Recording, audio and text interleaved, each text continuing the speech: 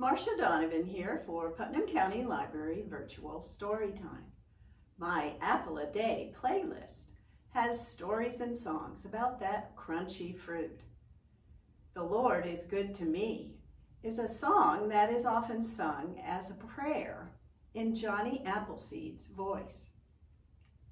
The story of Johnny Appleseed combines facts and legends about the life of John Chapman.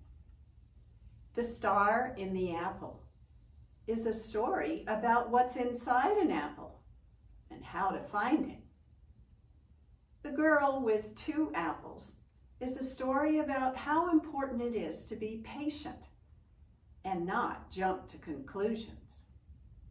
And Autumn Time is Here is a song with hand motions about some things that happen in the autumn, another name for fall, when the apples get ripe.